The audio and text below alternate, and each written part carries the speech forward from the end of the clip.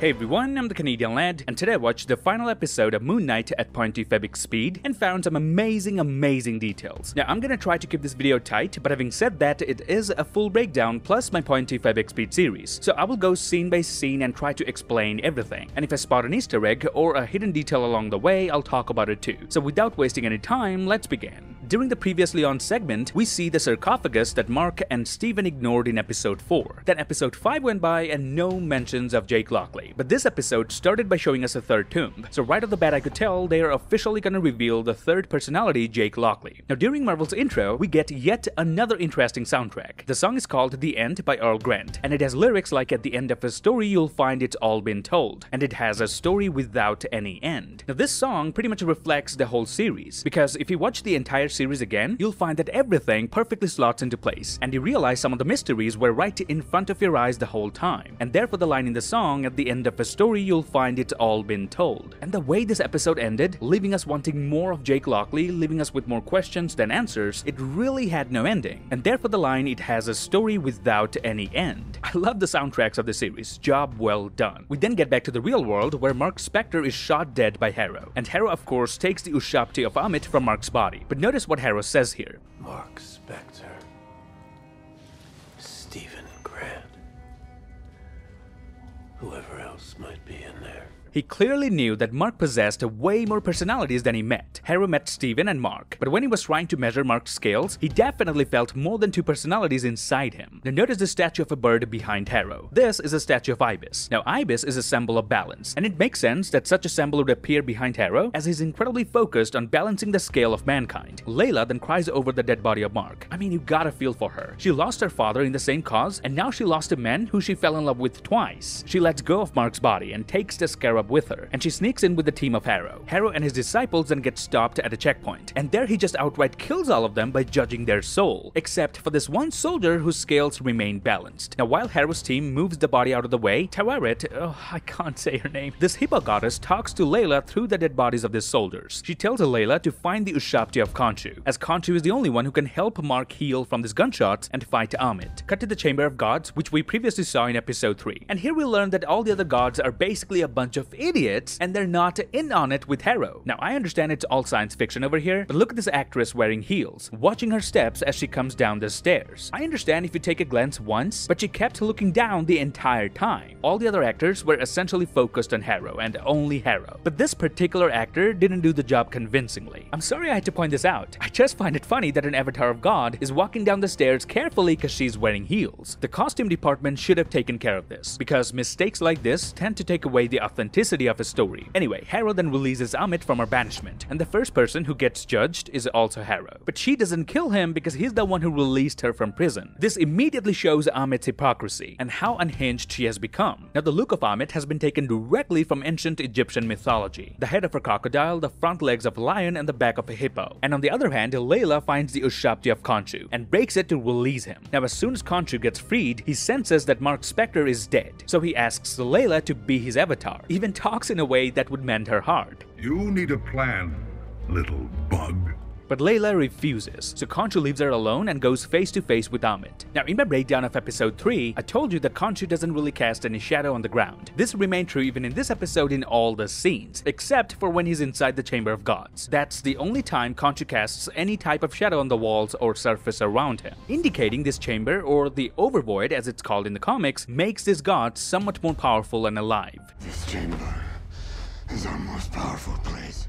Cut to the Duat where Mark sacrifices himself because he does not want eternal peace in exchange for Steven's life. This shows how far Mark has come in his life. He lived alone without his brother once, for which he still believes he's guilty, and that's why he doesn't want to make the same mistake twice. He doesn't want to survive at the cost of a loved one, so he gets frozen with sand just like Steven. But after seeing this, Osiris decides to open his gate and give a second chance to both Mark and Steven. And if you notice, Mark gave his heart to Steven just before he got frozen, in hopes that it would thaw Steven out, but this one heart ended up pumping life in both of them, meaning Mark and Steven are now powered by only one heart even in the afterlife. They both finally became two sides of the same coin, as opposed to being two separate coins. Then enters this sweet little hippo who protects them from this massive sandstorm using the ship, and then they both successfully cross the gate, coming back to life in the real world. Now, after a rewatch of the whole series at one go, I just realized the whole series was already foreshadowed through different artifacts in Steven's fish tank. For example, this pyramid represents the Pyramid of Giza. This boat represents the boat we see in the afterlife. This castle building indicates Khonshu's temple, and of course, the gates of Osiris. I love it when creators leave clues throughout a show that all start to make sense as the story unfolds. Now, after Mark comes back to life in the real world, he starts bleeding from these two gunshots. He was gonna die again anyway, as this hippo said,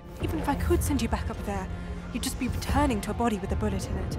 You wouldn't be able to heal. Now, Khonshu, who's in hand-to-hand combat with Ammit, senses Mark's existence immediately. So Khonshu flies away to make Mark his avatar once again, therefore saving Mark's life yet another time, which does happen in the comics quite frequently as well. And as soon as Khonshu bestows his powers upon Mark, the bullets come out of his body and he stops bleeding from his face, giving us this epic scene where Mark Spector becomes Moon Knight again. Mark and Steven then negotiate with Khonshu that if they help Khonshu defeat Ammit, Khonshu will have to set them free. Khonshu of course agrees because, well, because of the post-credit scene. And if you think about it, the fact that Khonshu kept Mark and Steven in the dark about Jake is actually foreshadowed in this scene. Notice what Khonshu said to Steven when he promised he will release them after the mission is done. I will release you both.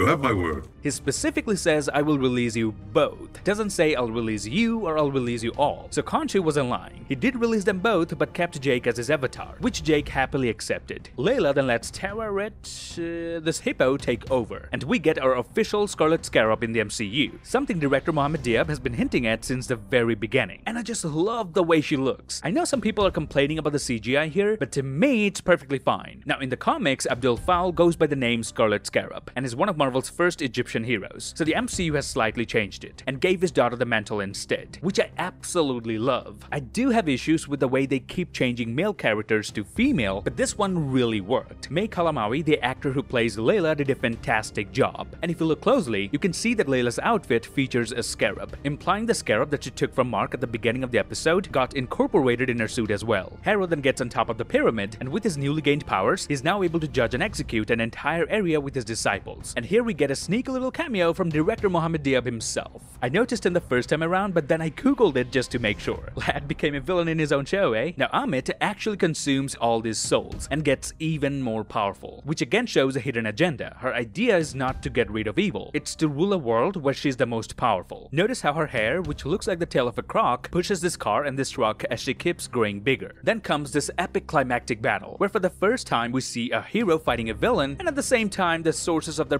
powers are fighting as well. Now I found quite a lot of hidden details during this fight that are really hard to catch at regular speed, so this is the part where I want all your attention. Notice Harrow gets a hold of Mark's cape and was almost choking him with it, and that's when Mark decides to let Steven in, who does not have a cape in his suit. But Steven cannot fly properly as he lacks a cape, so he then quickly lets Mark in in order to better maneuver in the air. This is the first fight where neither Mark or Steven are fighting one another for control. They both are working together as a team, and it is clearly visible. Layla then saves Mark from Harrow's blast, and even deflects one using her wing shields. Now let me take a few seconds to admire Layla's character arc here. She didn't just become a good fighter after receiving godly powers. She was already great in hand-to-hand combat, and most importantly, she's a fighter who has no fear. So with Tao, for fuck's sake, so with Tawaret's power, she's now even stronger. This is how true female superheroes look when done correctly. So kudos to the whole Moon Knight team for that. Now notice how Mark is relieved and happy to see Layla alive. Oh, baby. But Steven compliments her after seeing her in that costume.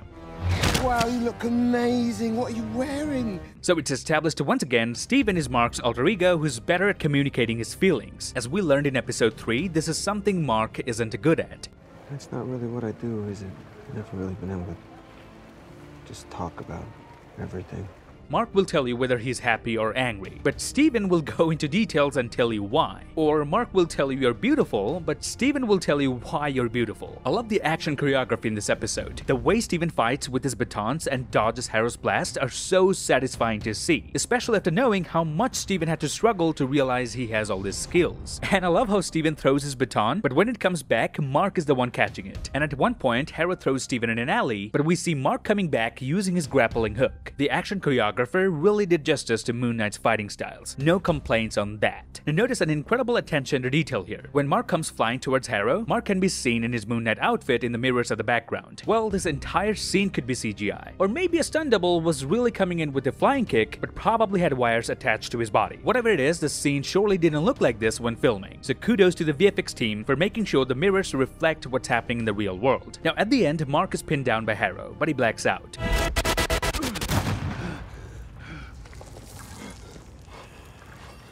Now this is obviously Jake Lockley, who took over and killed everybody. Well, everyone except for Harrow, who he was about to kill as well, but then Mark came back to his senses. So just as I said in my episode 3 breakdown, the transition between Mark and Steven is very smooth and seamless. They can literally switch places mid-conversation or mid-fight. But whenever a third personality intervenes, aka Jake Lockley, Mark suffers a mini seizure. I'm so happy my theory turned out to be right, and I'm pretty sure many of you got this detail by your own as well. Now notice, before Jake Lockley took over, the surroundings were not that much damaged. The lights were on in the store, and even some people were inside. But after the blackout, there are flames, more debris on the road, and this store is literally shattered, indicating Jake Lockley has no limits. He truly represents what Mark fears he is a ruthless killer. If Steven is the result of Mark's guilt, Jake is the result of Mark's vengeance. He would get the job done when Mark or Steven's moral compass comes in the way. And keep in mind, Layla saw it all with her own eyes what Jake did. So in season 2, I'm pretty sure Layla will ask Mark, What came over you that night? How did you become so brutal all of a sudden? And why the hell were you shouting in Spanish?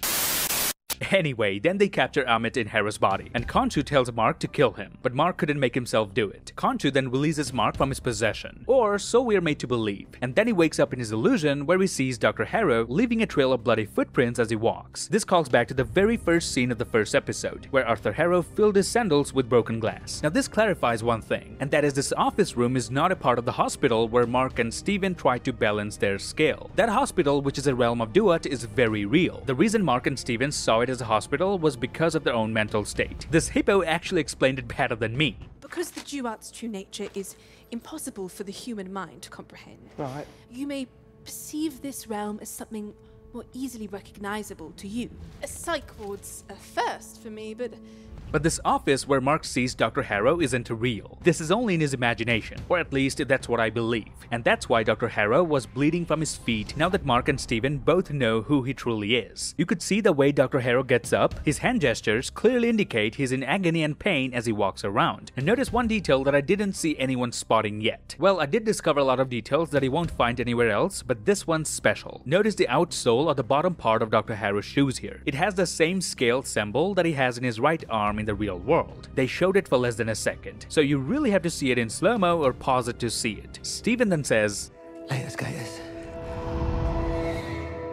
Mark then wakes up at Steven's flat and asks if Steven is there, to which Steven replies, can't believe that worked. But then Mark takes over and tries to get up from the bed. Now, because this was Mark getting up from Steven's bed, he didn't check on the ankle restraint that Steven uses to tie himself to bed. If it was Steven though, he would have remembered to check on his leg first, which he always does. Now notice Steven not only strapped himself to the bed, put sand on the floor, but he also duct taped the door using the same blue tape as we've seen in episode 1. Now you may ask, why did Steven tie himself up in the bed and why would Mark allow it in the first place if they have come to terms with their multiple personalities? Well, the answer to that is what will lead us to season 2, or hopefully a movie, because they both are vaguely aware that there might be another personality lurking in the background, and that's why he still ties himself up every night before going to sleep. And before the episode ends, we can again see Steven's fish tank, which now has two goldfish instead of one, representing how Mark and Steven have finally found balance in their lives. Now, onto the post-credit scene, it opens by showing us this rubber duck dressed as a doctor. Now, the first time we saw this rubber duck was in Mark's imagination just underneath the TV. Then we see Harrow as a mental patient, who imagines his coffee as sand. Now, the only reason I can think of is in his fascination with finding Ammit's tomb, he spent so much time in the desert that all he ever thinks about is sand. We can also spot the scale tattoo on his right arm, indicating this is the same real Harrow we've seen so far. Then comes Jake Lockley, who woos the nurse into letting him take Harrow outside. This solves yet another mystery in the series. In episode 1, we learn that Steven has a date with one of his colleagues. Colleagues, but he never remembers asking her out. And we know that Mark has remained pretty loyal to his wife Layla throughout, so it has to be Jake Lockley who asked her out on that date that none of them can remember. Now we can spot a QR code on this poster, and if we scan the code, it'll take us to another free Moon Knight comic called Moon Knight Acts of Evil number 1 from 2019, which features Moon Knight fighting Kang the Conqueror. So could this be Marvel planting a seed for the future? Now, of course Kang already appeared in the MCU in Loki, and he will appear again in Ant-Man and the Wasp Quantumania. Now as Harrow is getting wheeled outside, you can see that the hospital he's staying in is called Sienkiewicz Psychiatric Hospital, which is a nod to comic book artist Bill Sienkiewicz, who gave the first Moon Knight comic series its signature look. Now another detail that shows all of this are happening in the real world is Harrow's sandals. These are the same pair of shoes that he wears in the other episodes. And I like how Jake just needlessly kicks the wheelchair out of pure anger, establishing we're about to see Mark Spector being unleashed. Then we see Khonshu donning a formal suit, probably inspired by Steven's Mr. Knight costume. And damn does it look good, eh? They managed to make a CGI character look this good in a formal suit. Khonshu then reveals to Harrow that he still has an avatar in the form of Jake Lockley. Meet my friend,